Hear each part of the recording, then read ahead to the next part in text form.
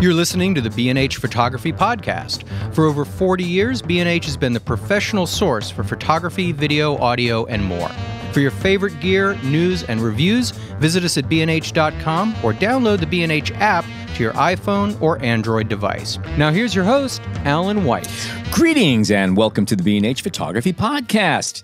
We're halfway through summer, fall is coming, and that means that over the next few months, we're going to be hearing about all kinds of new cameras, camera systems from Canon, Nikon, and a zillion other camera lens and smartphone manufacturers. Let's not forget them. Today, we're going to throttle back a bit from the march of auto everything electronic camera technologies and focus on the gentler days of analog imaging. Back in the day when I was growing up in Brooklyn, if you walked around with a camera, you were invariably considered a dork. Uh, crossing the schoolyard with a Yashica mat around your neck was an open invitation for beat me up. Uh, me, I was a fast runner. Today, Brooklyn has become a hotbed of photography. At last count, dorks with K1000s, SRT 101s, Rolleies, and Hasselblad 500s outnumber the hitters 10 to 1. Times have changed. Joining us in the studio today are Kyle DePew, Julien Piscineri. I got it. I got it. kind of. kind of close enough. And Michael Armato. Kyle is the founder and general manager of Brooklyn Film Camera.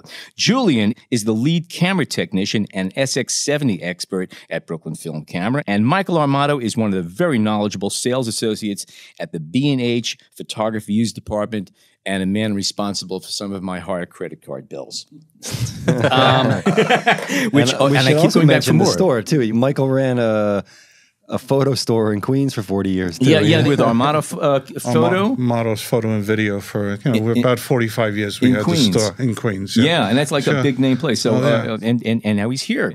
Some people know, some people don't know is that it's more than clerks behind the sales counters uh, at B&H. Some of the people behind the counters have some pretty good accomplishments behind them, and there's some amazing stories. We could do shows just about the people behind the counters here if we wanted to. Mm-hmm. But today, let's stick to uh, Brooklyn Film Camera and the Brooklyn photography scene.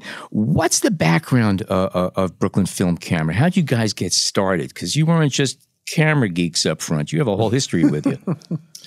Yeah, I mean the the background is so the the three of us who essentially founded the company used to work for the Impossible Project, now known as Polaroid, of course. Mm-hmm. Right. Um, so that's that's uh, where we got our roots. Uh, Julien was the led the camera department there for how long was it uh, that you were like three years, I think. Mm. Yeah, a little more than that, I guess. Yeah.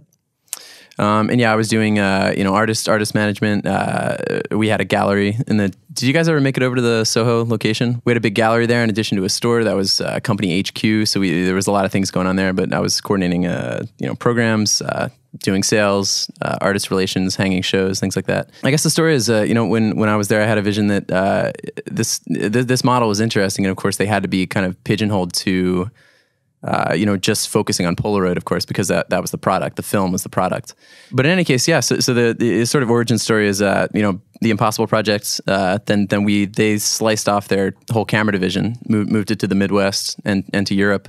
And then there was kind of this opportunity. We had the skills, we had the the, the knowledge, and so we thought, you know, let's uh, let's kind of like do this thing and mm-hmm. make it, you know, keep it keep it going in in New York and uh, and and, how, and, how also much, expand. And how begin, much of the model you know, of of Impossible Project did you guys follow, or or what, what did you change? Do you want to take that one, Julien? I mean, we we've been like trying to like you know I was working in the camera department, so I was just trying to like we we try to like do the same like model to like you know buy cameras and like mm-hmm. refurbish them. Mm-hmm. So we had all the knowledge of like doing that, how to buy them, and like so that we pretty much like reuse that mm-hmm. to like make our own, and then yeah. we apply that to also like also like 35 and like 120 camera. Mm-hmm. Mm-hmm.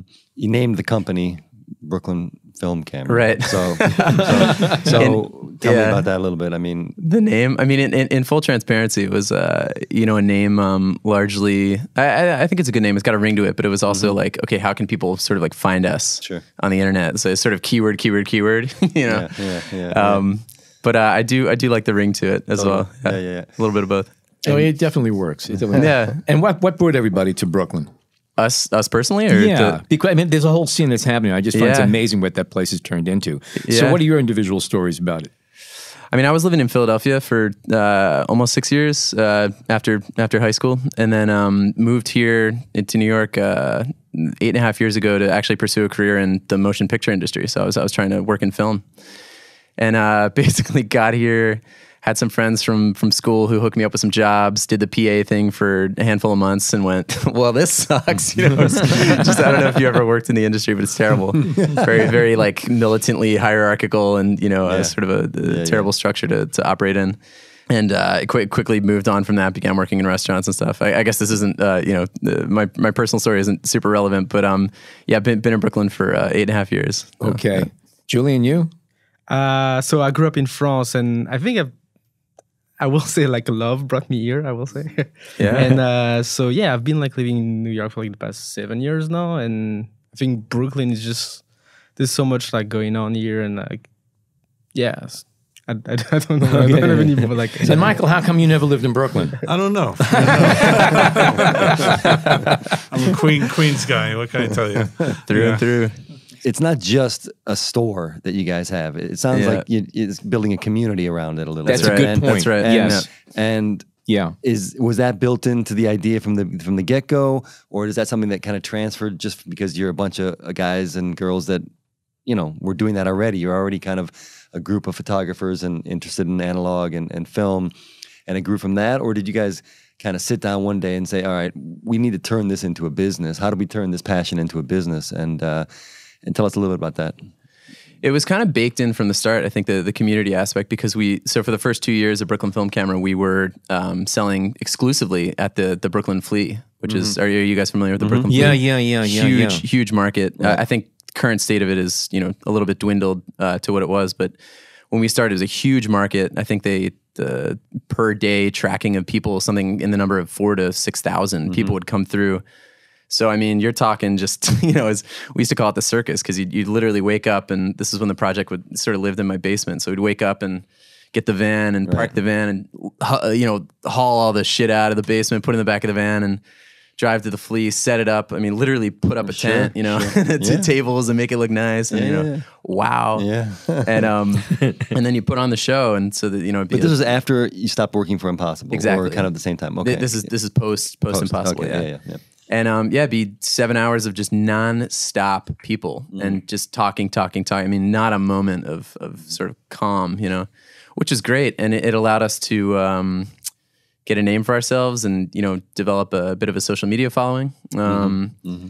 And uh, yeah, I think I, st- I think I discovered you on Instagram. I think that's where I stumbled really? on you guys yeah. originally, if I'm not mistaken. So that's becoming a, a, thing. Yeah, it's beca- Instagram's becoming a, a, real center of gravity for the project in the digital space. Yeah. Mm-hmm. yeah, yeah, yeah.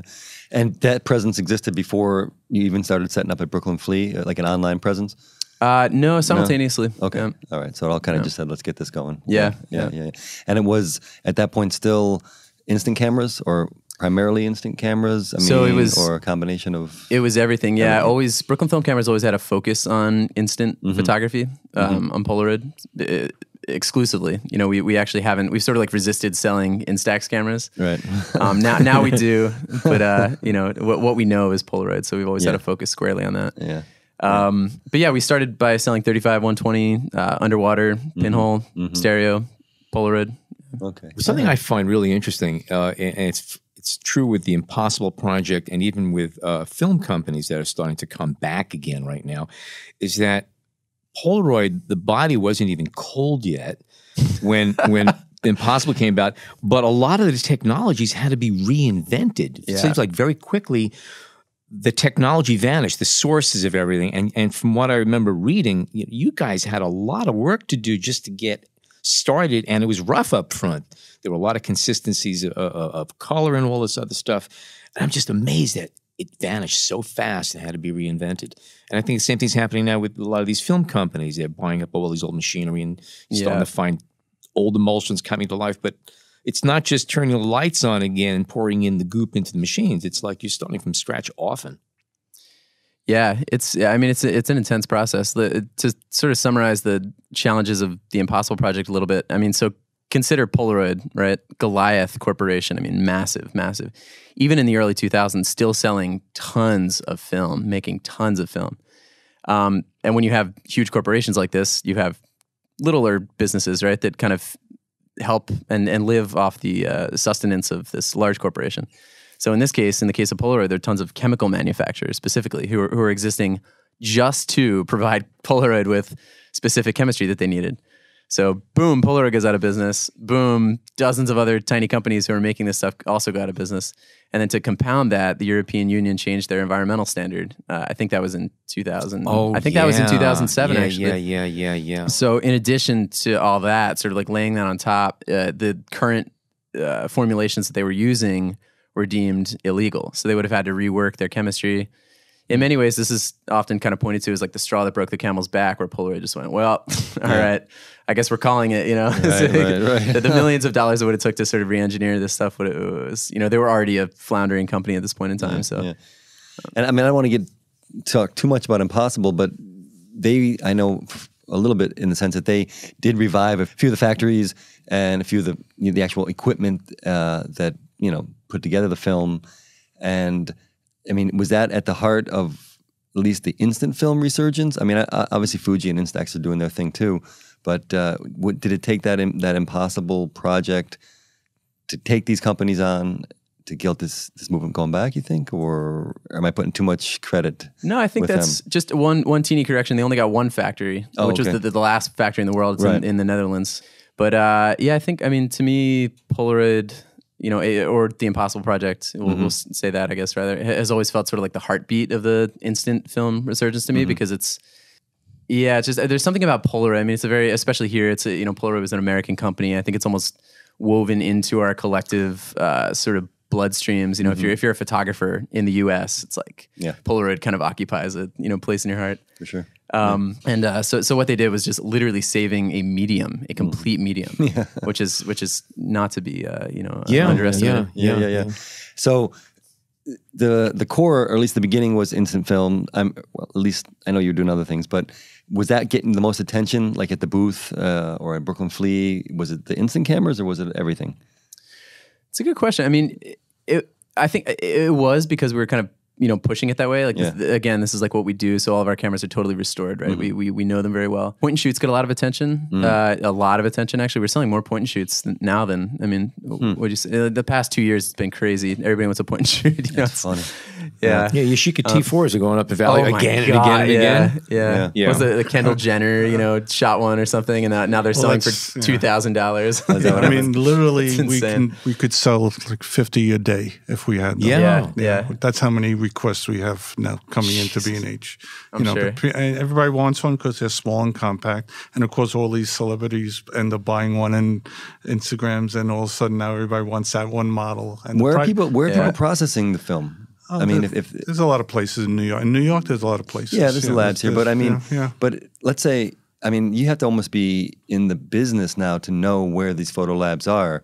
Yeah. Am I Yeah. not right? I mean, Yeah, well, so people come into us and they, you know, we where? have cards from different labs, Right, and, and right. we, you know, we have pretty. You also can go to knowledgeable, like a lot of the generic, you know, like you know CVS and Duane Reade. They But all do they have still things- do that? They Uh, will. You can they do that drop off. Oh, very few of them actually have labs there. But what they do is they have a central location and they'll send it so off. they'll send it and a lot of it is Yep. for them is digital already at this point. course. but Right, you Exactly, you can't. yeah. A, lo- not all of them, but a lot of them still do accept film. Okay, yeah. I wouldn't give them And my film. that's places you can send it to, of course. Yeah. Yeah. So tell us about your services. Tell us what you guys offer, other than you know selling refurbished cameras. Well, we're, um, I mean, current services include uh, full restoration services on SX70s, uh, SX70 originals, SX70 sonars, SLR 680s. People bring you theirs and say, "Hey, it's been sitting around for 20 years. Fix it up for me." Yeah, yeah. The, I mean, the vast majority of them were, were getting mailed to us. You know, people people mail us their cameras from all over the world. But but yeah, we do have in person drop offs, of course. Uh, we have, we have open hours on the weekend, so people can come by. Um, but that's kind of a you know drop in the bucket of what we're receiving from just sort of global shipping and right, you know right, uh, right, right. national shipping. Yeah. Um, so we restore those cameras. Julien uh, specifically restores those cameras. And is it a backlog? I mean, you have more than you can handle at this point, or No, I, I, no, I'm not gonna say that, but we get Yeah, a lot, yeah. and then you know, like I because I so that's what I was doing at Impossible. So Mm-hmm. like I was trained by like a poly like technician. I went to the factory for like a couple of weeks to like learn all of that. So now I'm like, I can just yeah do that. But had you had you? What was your experience prior to that? Uh, I was just like messing around with a lot of like Polaroid and like taking them apart, and then so they were like, oh, we should like send you over there, and then Were you a learn that- photographer, an engineer? yeah, how, I mean, how I, did you get to I'd- it? Yeah. I'd like I'd like study graphic design, so it's nothing Okay. like that. But yeah, yeah. I was always curious about it, and like you know, taking pictures. Like yeah, I was like, Mm-hmm. yeah, I've, I've been using a lot of Polaroid before too, so that's Are there still Also- new parts available for these cameras, or is No. it all? Uh, are you basically stealing from corpses and? Yeah, that's that's what I, we have like some parts from like you know other cameras, and then with with all that we can like put one together and like fix all the issues and like yeah. And are you sourcing old cameras, dead cameras? Are you looking for them specifically for parts, or, or just taking what you get? I mean, when we like look for like cameras online, if we see one that's like in really bad shape, and then we can like try to like see what we can save, and then we do an offer for like a really cheap price, Right. then we can like Right. save another one with that. So yeah, You should check out the Brooklyn uh, uh, flea market. They have some old cameras there. Yeah, yeah. usually they're like really overpriced though. Like people That's try to true. like sell it for way too much. yeah, of course. Yeah, yeah, oh, it's yeah. just not working. Yeah, Yeah, And are you guys spending a lot of time online trying to source things, or is that aspect of it kind of over, and, and you have enough attention on yourself so you get them from people? Oh no, no. I mean, eBay remains our our largest source of you know uh, cameras. I mean, because it's just efficient. You can you can just okay, we need 30 SX70s in the next 10 days. Let's get 'em, get them. You know, and you can just kind of put some bids down, and they will they will come. Yeah. Um, yeah, without without it, it'd be hard to run a project like this without eBay. Actually, it's pretty pretty inter interlaced. And can you put a number on the nu- how many SX70s were created, were ever built? Is that number out there? Do you know that, Julien? I, Uh, I really don't. I I, mean, know there's a millions. lot. I There's I mean, a it's lot. got to be yeah. finite, right? I mean, Yeah. tons, but Yeah. eventually. I think what a lot of people don't know is, uh, especially if you weren't around when it first came out, that camera was revolutionary in every single manner. It's a single lens Oh, yeah. reflex that folds up, takes instant pictures. Every bit of technology had to be invented for that particular camera. High right. speed motors, batteries had to be developed. That's right. Yeah, And and also Dr. Land did not want people to go out and all of a sudden push a button and the camera's dead. So he put the battery into every film. pack of Yeah. film. Yeah. yeah. Yeah. uh, which what an- it was an amazing thing to do, Sure, and, and that I think is also one of the only cameras that's in the Museum of Modern Art. Wow. As a I believe piece it. of art. I believe it. I mean, It was yeah, considered yeah, a yeah, piece of definitely. industrial Yeah. art, and It's- is on display. Yeah. That was also the first time that uh, Polaroid had invented integral film, which is the kind of film where you, you need to do nothing. You, Yes. take, a- you take a picture, it ejects. right. There's a layer of mylar between the chemistry, so there's no need to peel it, time it, coat it. You could just, I mean, consider how mind blowing this was. To you know, it's, it's sort of akin to the cell phone, really, or a digital photograph almost. Just point and shoot, do nothing. It's in your pocket. It's done. You know. So we all know we all know that Polaroid. One of the beauties of it was instant pictures. Essentially, it was a forerunner of digital. Okay, now we we've, we've gone another step. Today, though, these ancient technologies in many ways are, are are still strong, and Instax shows that you can even come out with a new version of it. I find it amazing that considering the state of digital cameras, point and shoots, even smartphones, people are still willing to spend 80 cents to $4 every time they push a button just to have a mediocre, okay color, grainy print. Well, it depends how you look at it. Ah, yes, I know. but you have to admit, it is pretty amazing. Every time you go click, it goes kerching. It really, really Yeah. is. That's true. It's more about the moment. Like Is that what it is? I mean, I fair. get that, but it, I find it amazing that it's that powerful. Yeah. You know, because Yeah. it is p- holding a print, giving a print, and sharing it is different than passing around your phone. It is. Yeah. It's two different experiences. Yeah, but you no know, takeaway I mean, just that. just to play devil's advocate, I mean, what do you buy? Two hundred dollars, let's say. How, I don't know how much a camera is going to cost you, right? An SX70 or, or whatever. 285 from us. 280 Okay, or, or if you go Fuji, cheaper, whatever. Um, and then you buy your film. I mean, to shoot digital or shoot with your phone, what? A phone is eight hundred dollars. You need you need a computer. Yeah. You need a digital camera. So you're going to invest thousands of dollars up front, right, to get all this stuff that we call free. You know what I'm saying? Oh no, I, I use the same justifications. I have film cameras sitting here, and and uh, uh, these a lot of film cameras could be bought for almost nothing. And I say to myself that every time I go out shooting film, which I still enjoy doing, it's costing me money. And I'm saying, why are you going to spend money when you can get okay? Put put, the aesthetics aside and all that. You can take phenomenal pictures with your digital gear with the same lenses and everything else. Yet I still go out and shoot film, and I'm not, I don't have the instant feedback, and that's one of the reasons why I happen to love it. Well, that's why I Um, always felt that the uh, yeah. the the instant resurgence is the perfect combination. You know, because you have the nostalgia and you have the physical artifact, but you also have the immediacy. You know, and that's I think is what kind of at, um, um, I like to get your guys' opinion maybe in the second half of the show on on what is at the heart of the resurgence because you, you're getting everything. You're getting the instant.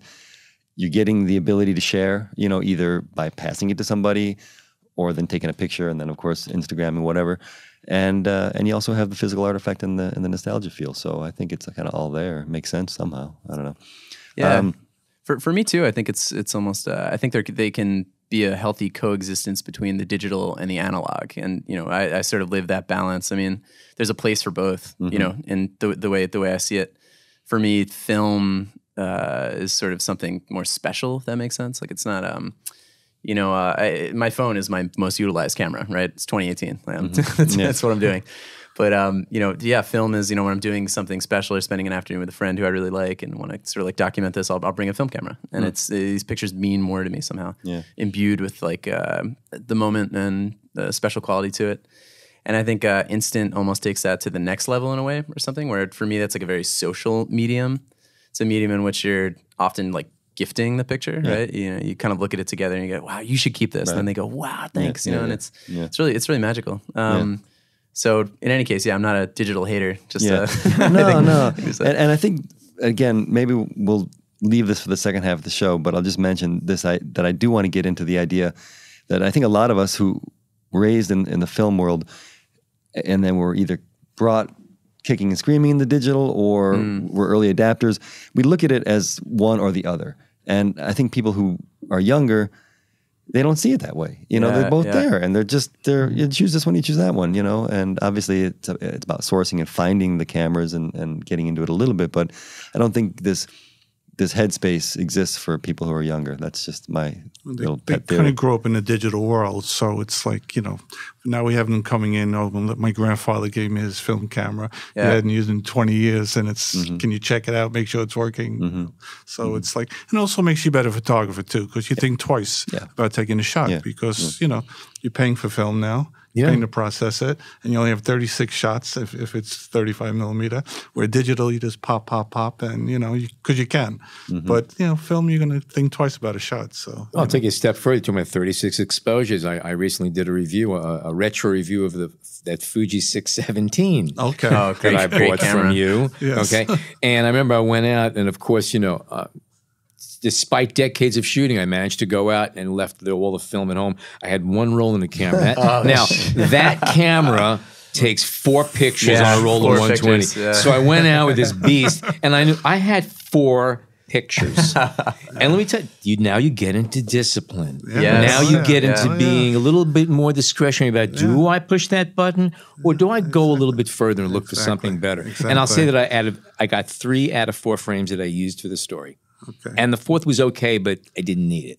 Mm. But yeah, they Yeah, force you no, to just yeah, sharpen up with yeah. your phone. It's like. Well, it's like, it. or That's anything. it, Yeah. You know, yeah, 64 gigs of, that's a lot of pitches. Yeah, yeah, yeah. And uh, are you guys repairing 35 millimeter f- cameras too? Only, only very, very simple repairs. You know, Uh-huh. we, we, we don't do anything too in depth. We, we sort of outsource the repair of, of these cameras to technicians uh, who we trust Mm-hmm. if necessary. Okay. But but mostly we're just we're just getting them in. I think it's correct me if I'm wrong, but I th- the B and H model is similar. You just sort of like test them, measure shutter speeds, aperture movements, declare this is a working camera, and then Mm-hmm. okay. So so yeah, we same similar model for us uh, uh, on everything but Polaroid. All the Polaroids we do are you know thoroughly uh, restored.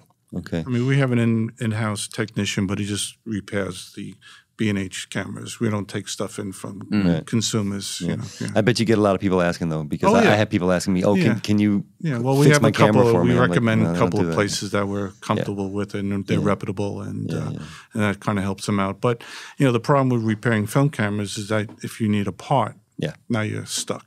Yeah. So a lot of Yeah. places don't want to play with that no more because they got two hours labor into a camera, and they can't charge the customer, and you know they lose two hours labor. Yeah. Because Well, you know, uh, we yeah. do have some good technicians in house that have performed some neat little miracles. Oh yeah. Uh, in fact, that film advance on that 617 when I first got that camera was broken. right. I didn't know that Yeah.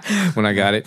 Um, and I brought it to a few places that said, we can't even get that part anymore. Don't even, it's going to be more expensive to repa- prepare the camera than buy another one. Yeah. Okay. And in house, I don't know what he did, but he Yeah. fixed it and I used it. He's pretty amazing, I tell you. You know, from someone that was not trained for camera repair. Yes. And he's like, you know, Mm-hmm. he does stuff that it blows me away. I mean, I, I did camera repair for over 20 years and I bring him something, and I says, he goes, yeah, let's leave it with me. I'll come He has back no later. preconceptions. yeah, it's like nothing. not- just like it's yeah, okay, I'll take care of it. You know. the mad genius in the basement of B and H. That's awesome. So, you guys accept cryptocurrency? We do. Let's That's talk right. a little Yeah. bit about that. Sure. Yeah, how's that working? Yeah, it's good. I mean, I mean, this is not you know something that we're uh, you know we're not processing crypto transactions every day or anything Right, like that. It's right, sort of right. sort of a few and far between. But um, I'd say, yeah, we started uh, accepting Bitcoin in 2015, and we've probably somewhere in the number of about 20 transactions since then. So Okay. you know, not not a lot. For me, it's almost a gesture of uh, you know just uh, Throwing it out acceptance of cryptocurrencies. Some something I.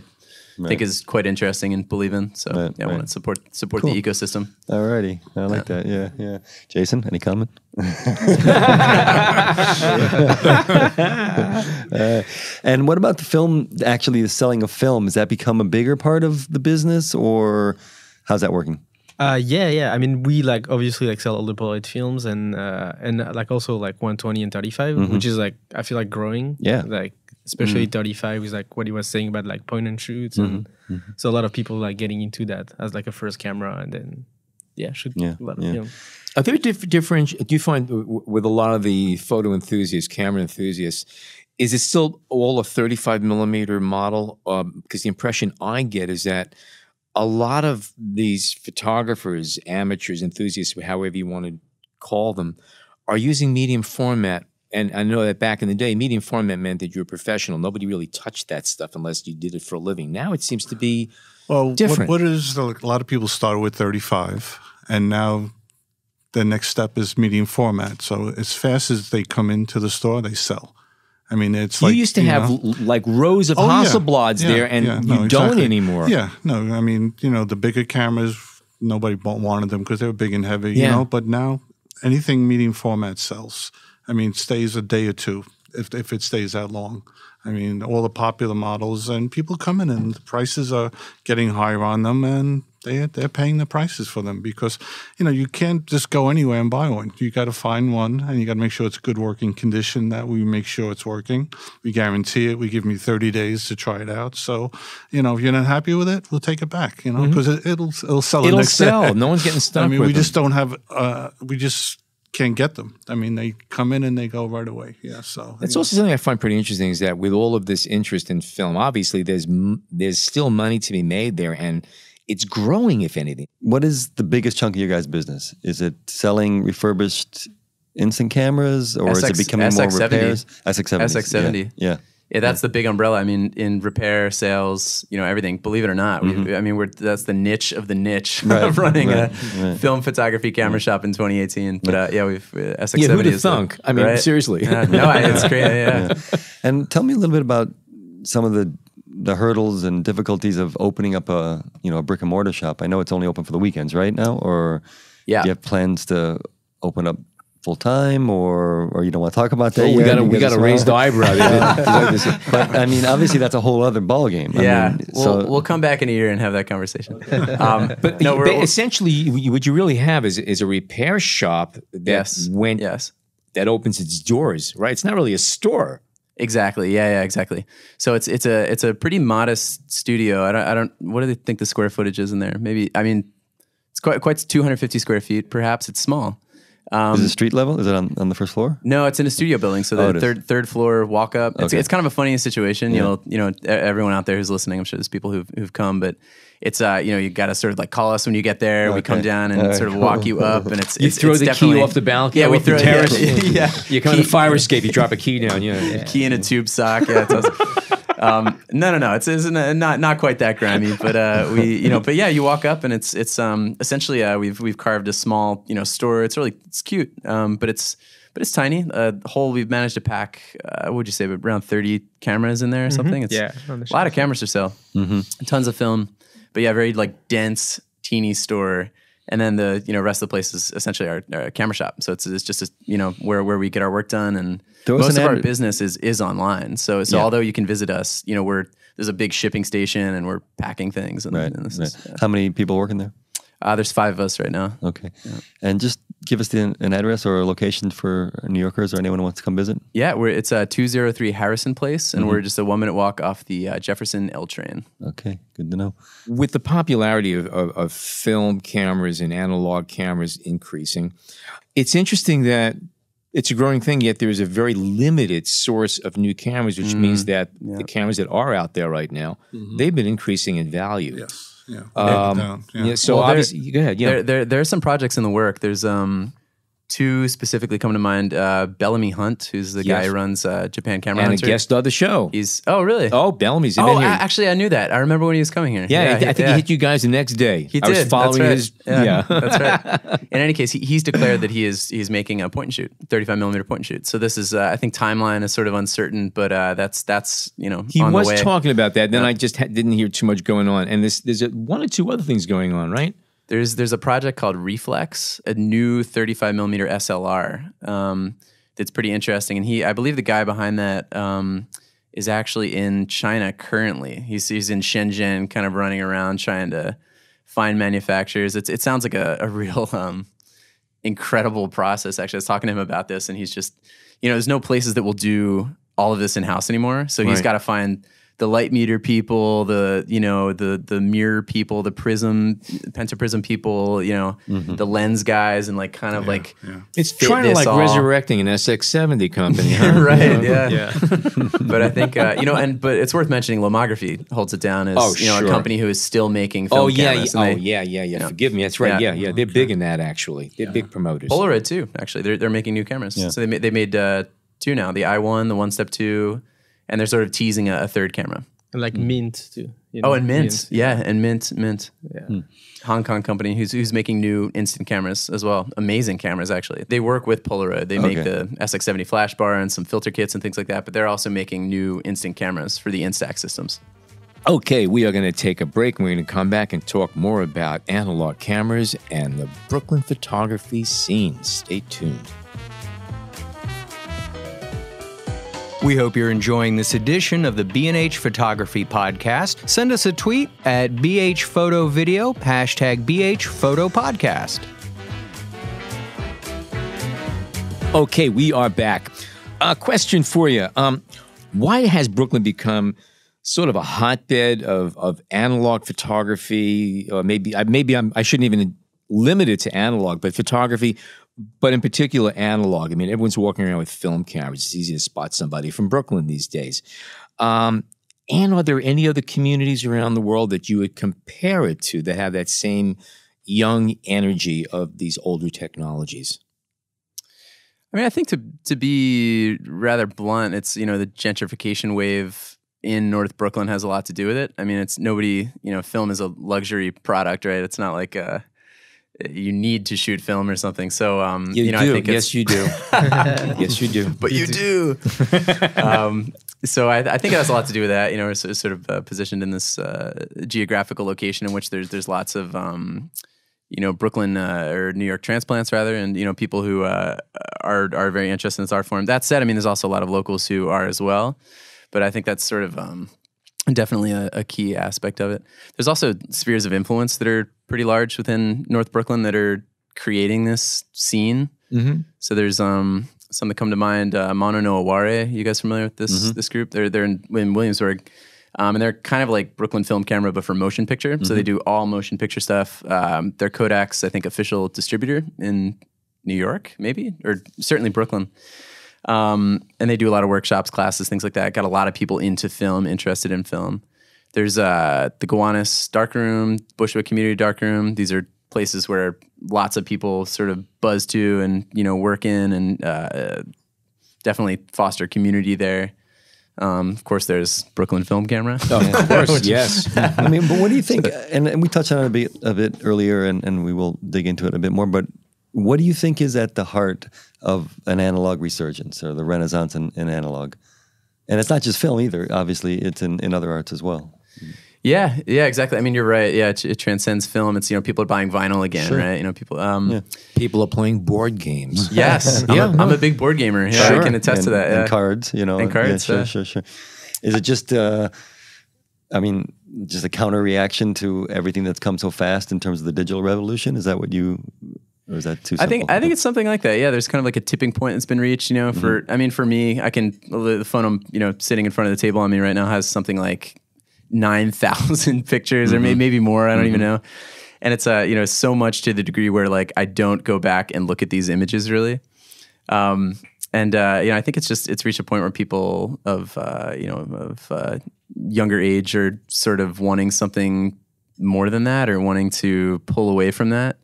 Um, I certainly am. You know, I'm I'm much more comforted, and this, I'm only speaking for myself here, but I I really love having tangible prints and having things in a box where I can you know just open it up and go, hey, look at this. And Ta- tangible is a very, very important part of the equation. Yeah, think. yeah. But when you grew up, I mean, um, I don't know how old you guys are, but did your your parents must have had film cameras around? You must have grew up with them around.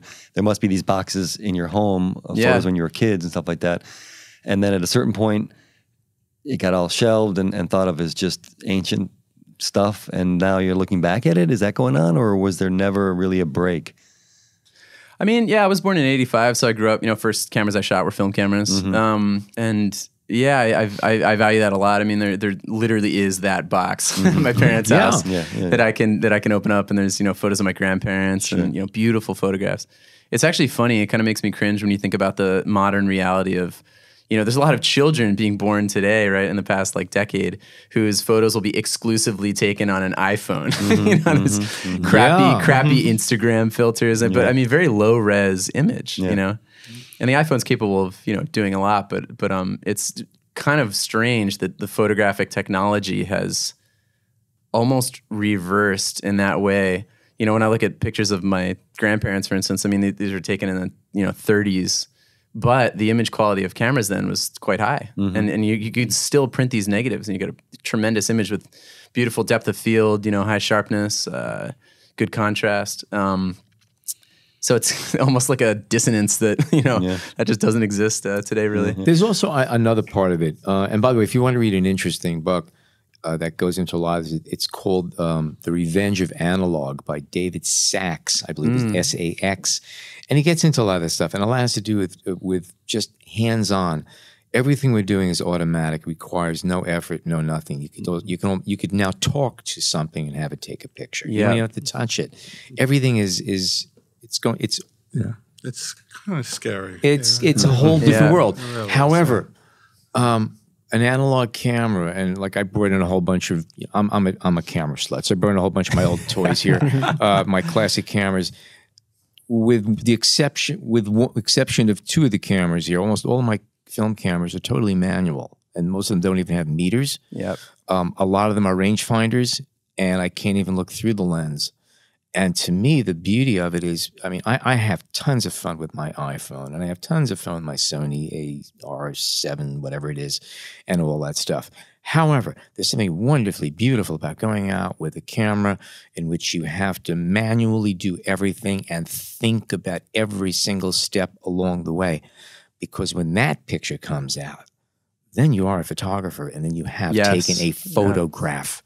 Very much agreed. Well, the thing is, though, and and you guys have mentioned this that you're seeing a resurgence in point and shoot film cameras, right? Yeah. So that kind of takes away from this True, argument. And there's all these people saying, "Oh, I, you know, I want to learn photography from the get go. I want to learn all this stuff." But if people are looking to buy a, a point and shoot film camera, that kind of removes that argument a little bit, right? Because does, they yeah, just want to have a film camera they can go like this with. Right. So, so some some of this whole idea of you know returning to the basics, I find a little questionable. I think I, I see a trend as, much as anything, and I don't want to diss it all, but it's just I think it might also depend on if you. Yeah, I don't know how you define that. And you're right. Yeah, I mean, I can yeah. understand if someone wants to buy a camera that they want to learn, and you know, it's a Pentax, and they want to figure out how from the get go. But if you're telling me, and, uh, and it's not just you guys, but that that point and shoots are being sold for, and and and you know, and they're dropping them off at the CVS. What are we getting here? You know, I mean, right. It's just like the different way of like I mean you like shooting like a point and shoot and then you you know drop off the film and you get it back after so you look at the picture differently because mm-hmm. you have to wait for them. Mm-hmm. It's not like when you take picture with your iPhone you can look Right. them right after. So there's like a surprise you don't know what you really like took. Do you think it's this is real though, or do you think it's just a trend? no, I think it's cu- it's yeah, real. It's yeah. like it's a fun real. thing to like. I'm gonna shoot a bunch of pictures like Yeah, at a party, and then I don't really remember what I took. then I get the film back, and I'm like, oh, that's I'm, awesome. gonna, I'm gonna do that anyway. I mean, yeah, sure, but then I still have to wait, and then it's like, and the quality will be better. yeah, Michael. Mi- Michael, you, must hear a lot of this at the county. You have people coming up to you. So Well, what like, are the what are the stories? Like you said before, like you know, the the iPhone, you kind of take these pictures and you may never look at them again. Yeah, that's at you thing. can keep going back to that pack of you know photographs that you just shot, and you can keep looking at them. And again, a lot of people grow up in a digital world, so they don't know what that's about. So you know, I mean, I've been doing this over 40 years, so I kind of grew up with a camera in my hand because my father was a professional photographer, so I was always around it, you know. But like I said, I remember when Polaroid SX70 came out. I have a shot of my father with my daughter who was like two years old, and there mm. he is. She's, he's got an SX70 taking a picture of her. He hands it to her, and all of a sudden it starts to appear, and the expression on her two-year-old face was like amazing. Yeah, you know, yeah, so yeah, it's you know it's a whole different That's kind of world. cool. A lot of people miss that. You know, they they kind of miss that. What's you know? when you see at, at the counter? What's the demographics of the people buying? They're, they're, film they're mostly young. They're mostly young people, but Right. Mm-hmm. now we're getting people all, all over the world coming in. You know, it used to be just the students because in New York City they still teach film and, and, yeah, you know. yeah. Now it's like, oh, you have any film cameras? You know, I mean, it's always a point and shoot because I think that's where people want to start. But as you know, they get really into it, then they want that 35 millimeter camera, and now they want that medium format camera. Yes, and even yeah. four by five stuff is amazing. Because they how want, like, many a more people shooting like, yeah. four by five? You know, they want to really take time to take a shot. Mm-hmm. Yeah, You know, point, they point and just- shoot's kind of the gateway drug into Yeah, exactly. the harder stuff. yeah. This is this is what I found. That actually surprises me. Wow. Actually, I think it's also worth mentioning that when you say point and shoot, I, I, I always tell people when somebody comes to me, I want to buy a camera that's easy to use. I go, go to B and H and buy any of the cameras they sell. They're all easy to use because the truth is, the most expensive camera we sell, the top of the line Hasselblad, okay, you put it into program and autofocus, Yeah, yeah. and it is a point and shoot. Yes, yeah. Um, and a lot of point and shoot cameras also give you the uh, uh, ability and the option of shooting in aperture sh- priority, manual Yeah, shutter, all of these yeah. things and override. So yeah. you can use a point and shoot.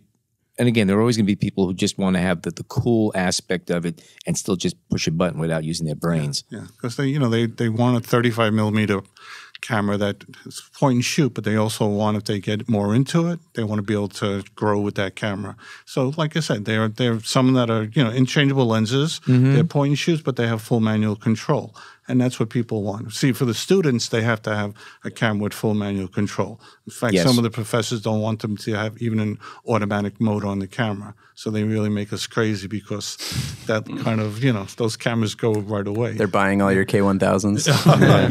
Now, You mentioned How much, I have K1000. one. How, how much can I get for it? no, seriously. Five thousand No, no, no, no, but seriously, like a, a, a K1000 that's in good working order. on the used market. I mean, Yeah. uh, it sort of ranges, and we, we sell them for two hundred. 200, If that's any litmus. Yeah, uh, yeah, yeah. as high as 250 Yeah. People yeah. Will for them Okay. Yeah. Now you mentioned a K1000. I mean, I think everybody knows it's a Pentax. It's it's it's the most generic camera you can get. well they made that camera for 22 years Yeah. it's crazy how, how long Yes. they made that camera And the lenses all uh, they all, they all work. they're very super dependable and they're all mechanical so if the battery dies the camera still works you Yes. lose, lose the light meter so you know but fm fm2s the hottest That's a. Nikon FM2, Nikon right? FM2. I own many of those. That's a camera. wonderful That is machine. the hottest camera. Mm-hmm. Those I could literally sell 20, 30 a day if I had them.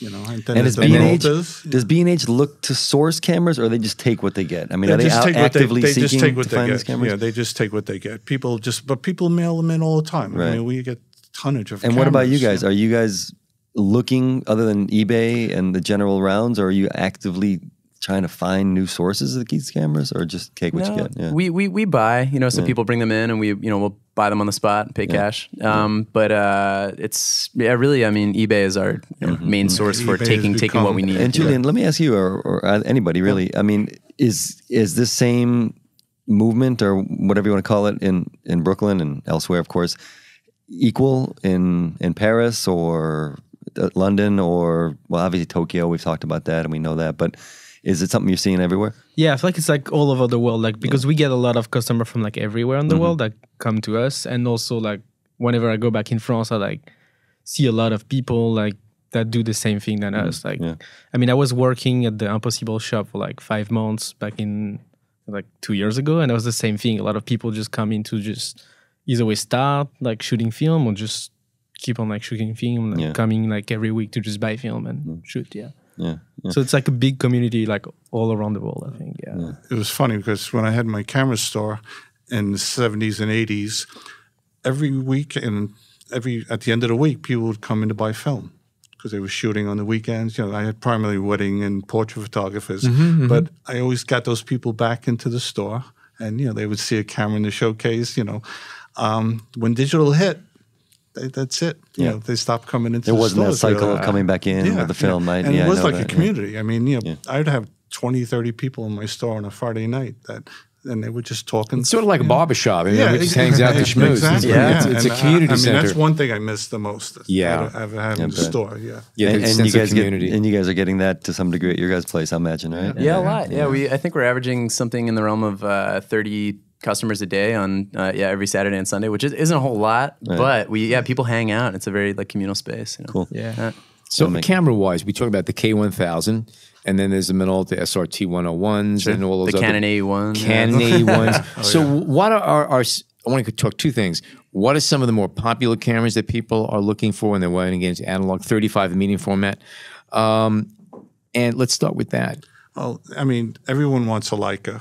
You know, that's that's one thing. You know, because they you know they're known for you know their dependability and the optical quality. And and Uh, you know, but they're the- expensive. Well, you know, what? so but you it's a- can buy a a, a a user M camera for what five or six hundred dollars, seven hundred dollars. But then you get the lenses. And yeah, and you have options there too, though, because right, quite that's honestly, Now you do, Yeah. You could like Now you do. Voigtlander makes That's M true. mount, Oh, and they are And phenomenal at a oh. fraction of the cost. yeah, Agreed. yeah, yeah, So you really can go Sure. classic analog Yeah, yeah. for a reasonable amount of money. yeah.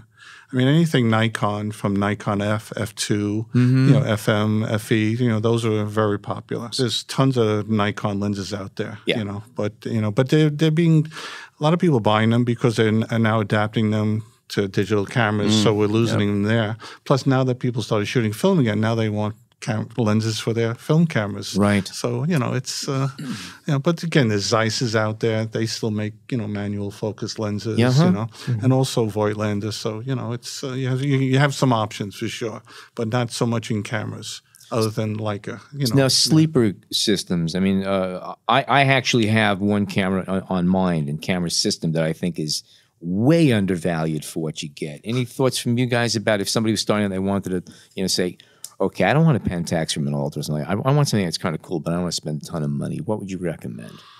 And then I'll tell you what I would recommend. Oh, I'm trying to think what's out there. I mean, because mostly it's Canon Mm-hmm. A1, you know, Pentax, Minoltas. A lot of the early Minoltas are, you know, those are pretty. You know, Oh, yeah. you can get them pretty pretty good deals on them, and they're super cameras. Yeah, I took a trip in 1971 to Japan with my family, and I came back with a, a Minolta SRT 101 Oh, with wow. four lenses for about five hundred dollars. Uh, yeah, and Yeah. and you can still get that same money today for it. exactly. Yeah. Now, but my thought. Do you have, do you have any idea? Any thoughts about cameras?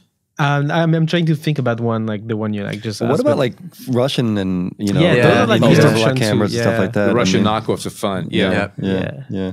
Or one thing France, France has made a ton of into. great cameras. I mean, Actually, No? not really. I No? don't think there's like any like brands like you can find good deals. Well, Lenses lenses, anyway, yeah, Angelo. I mean, yeah, those yeah, are like the phenomenal. first, yeah, but the really like old stuff. Yeah. Yeah, yeah, yeah, yeah, yeah. yeah. and I think Peugeot once made a 126 Instamatic. No, uh, but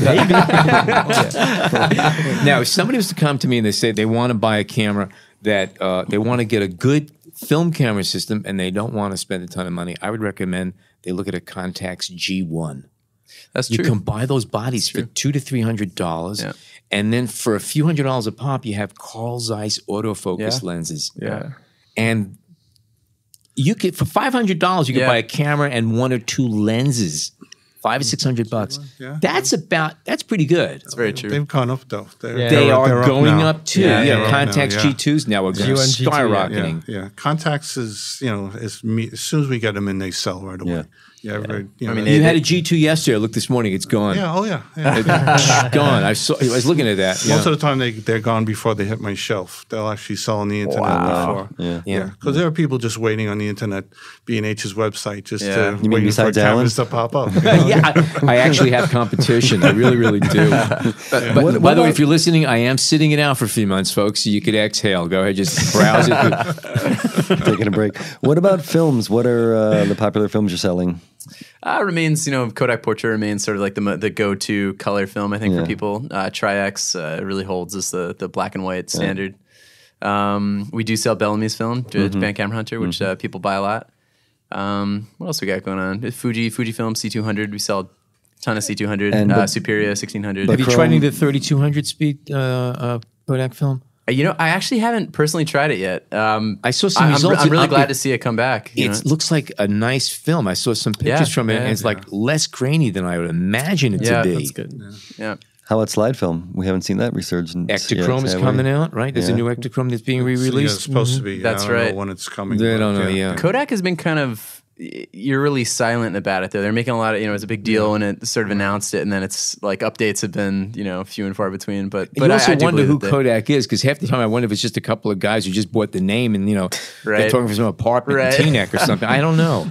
No, I think I think they're still a thing. They, they've they've done some weird stuff recently. They, we were you know barely talking about cryptocurrency earlier, but Kodak actually released a crypto coin. Yeah. Mm-hmm. Yeah, we had them on the the Kodak show. coin. We had the three executives on the show. Oh really? Yeah, Were, yeah, were they yeah. talking about the the the, the coin?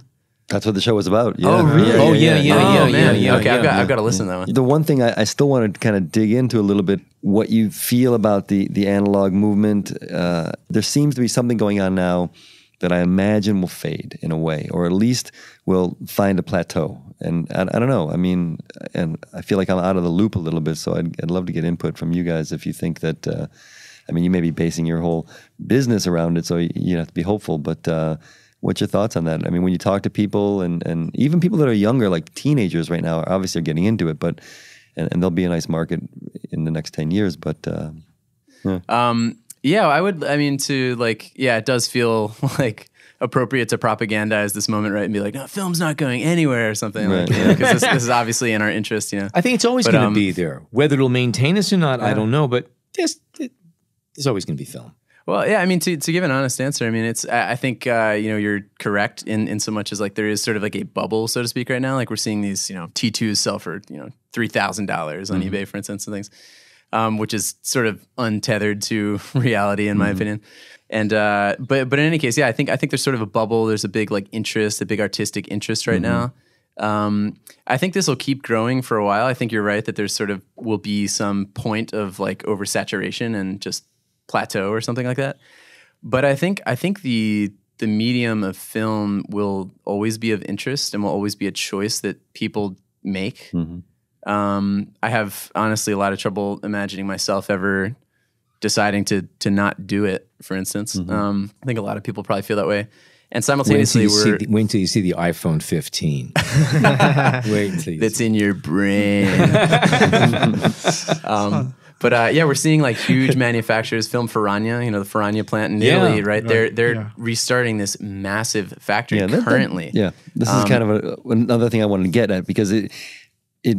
It may be a grassroots thing at a certain point, but there are big companies that are taking notice Yeah. and starting reproduction. There are people things like putting that, yeah. major money. Oh yeah, into millions this. of dollars. You, yeah. you don't re- you don't start a film company on a whim. That is No. for sure. Ferrania is a huge project, and then there's um um uh, Like Florian Dyke? Kaps from yeah from from uh, the Impossible Project, the founder of the Impossible Project, has since left uh, Polaroid, but he's now he's announced was it two weeks ago or something that Yeah, something like that. that, uh, that they're going to remake pack film. So we're seeing the death of uh, FP100C before our eyes, right? The last pack film, and he's he's announced that they're gonna they're gonna do it, and they've got tangible plans to do it. They've got a team, so so we're. cool. I feel like you know, film film is is is growing. You know, Are to any me, of the it's, uh, emulsions that are coming out now? You just said film packs. Um, I used to enjoy doing transfer, em- uh, uh, emulsion transfers. Are there any Polaroid film or Polaroid type films that you can do that with? Or, or as far as I know, there aren't. Yeah, I mean with the like the you know the Polaroid integral film, you can like do like emulsion lift, which is like yeah. remove the. It's kind of like a different process than like the peel apart, but it's still like something you can remove from the, the picture. Ah, and, like, put- okay. you know, use hot water and then like It's really beautiful, actually. yeah, Yeah, yeah, yeah. It's like watercolors. It's a beautiful palette. I Yeah. love you it. get some yeah. like yeah, it looks like silk a little bit. Okay. Yeah, I guess it's going to depend on companies coming out with cameras too. I mean, you know, Yeah, these these cameras we're using now are 40, 50 years old, and you know how much longer will they survive? Well, so, yeah, I think if the yeah. companies that come out with films, hopefully there's going to be companies coming out with cameras, because I think that will make a big difference. You know, where you could go into a store and buy a brand new film camera now. Yeah, you know, I mean, we we grew up shooting films, so hey. You know, what, why can't uh, the next generation do that? You know, One topic I do want to just touch on briefly uh, that I happen to really find amazing is that uh, the there, there's a little cottage industry of camera builders coming out there, specifically Dora Goodman, who who puts out these little custom cameras that I find to be amazing. The Goodman One, I think it's called, uh, uh, and I recently started following Ethan Moses of Cameradactyl. He's building these.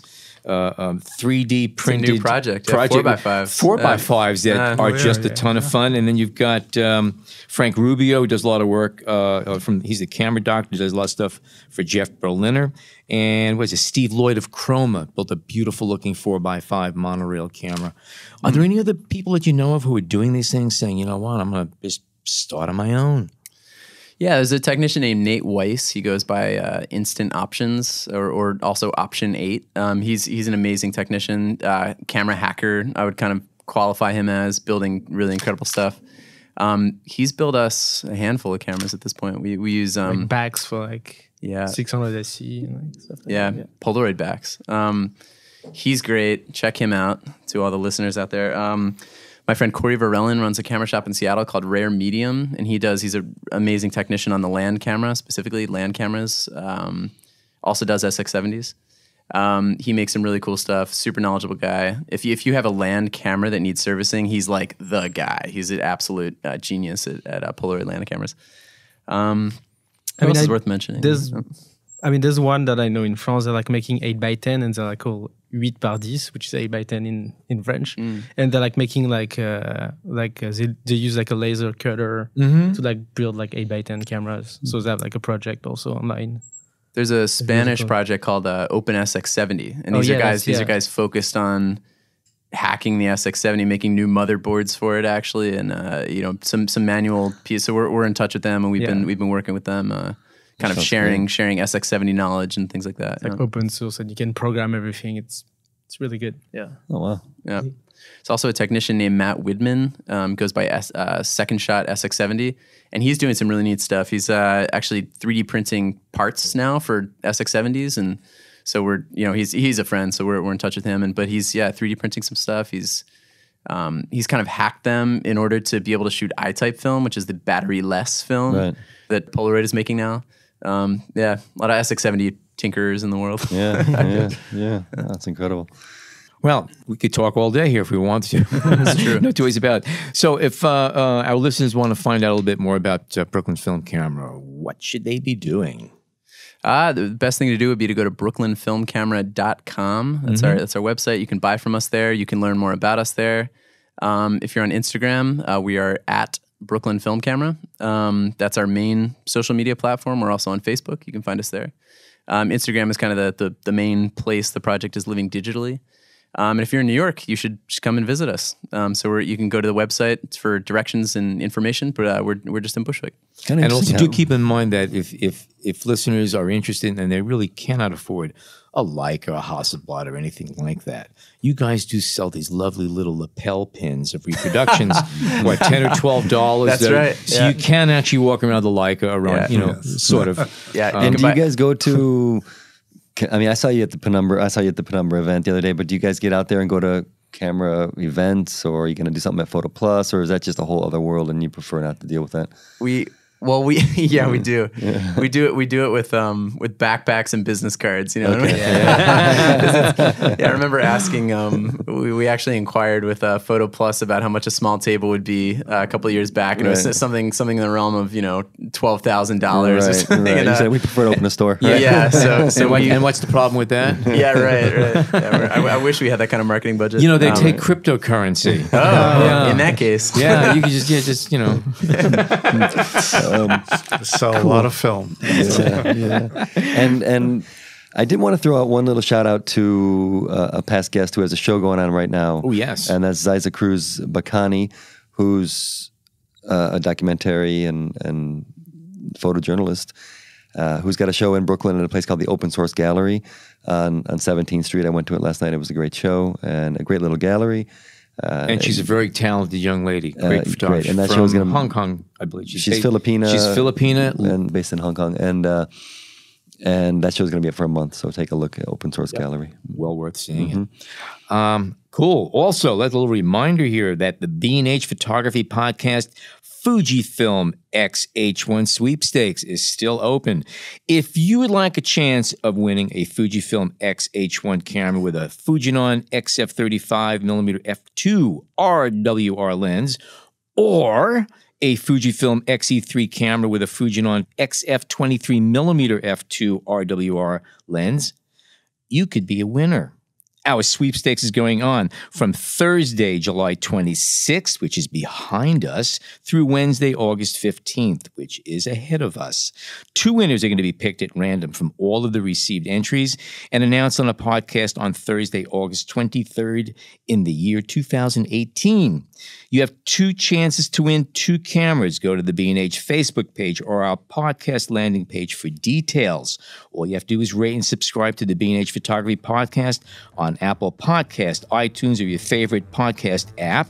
Also, if you plan on stopping by the B&H Superstore and you are interested in film, analog cameras, or any kind of used cameras, do stop by and feel free to say hi to Michael Armato, who is our guest today.